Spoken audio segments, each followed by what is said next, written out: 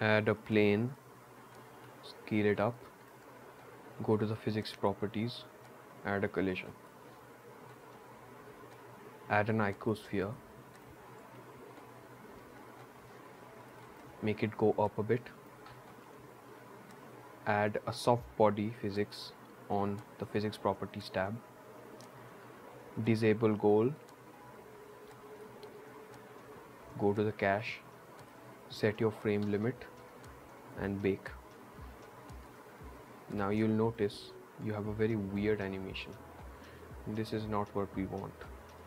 So delete your bake. Go to edges.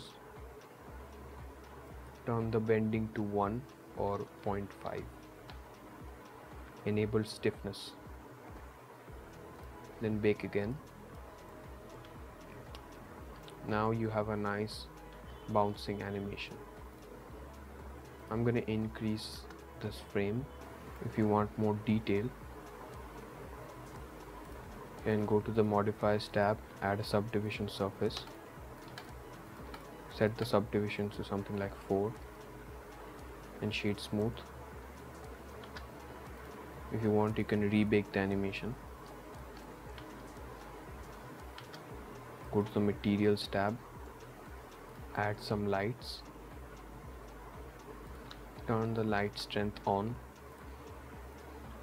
Set the render engine to cycles.